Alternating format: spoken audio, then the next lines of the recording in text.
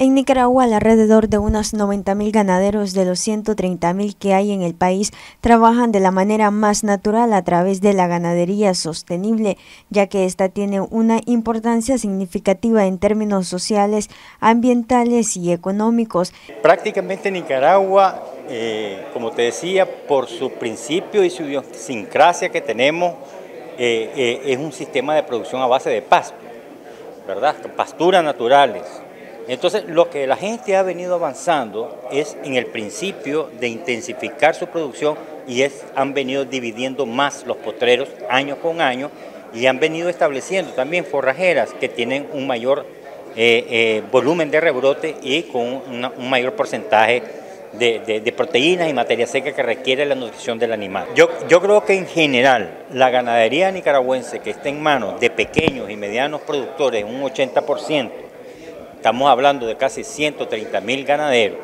Unos 90 mil ganaderos trabajan de una, de una manera natural, o sea, sin cero emisiones de gases de efecto invernadero. Este año las exportaciones lácteas esperan superar las cifras del año pasado, exportando más de 300 millones de dólares.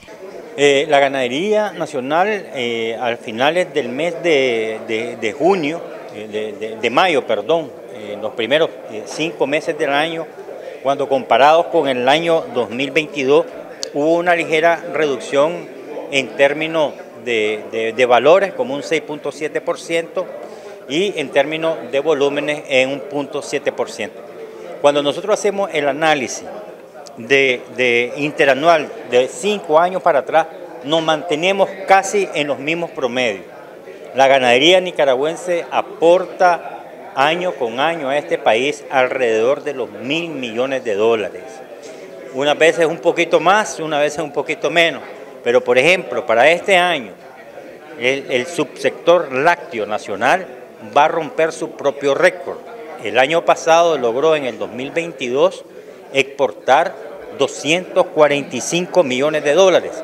Actualmente va a llegar a exportar posiblemente un poco más de los 300 millones de dólares.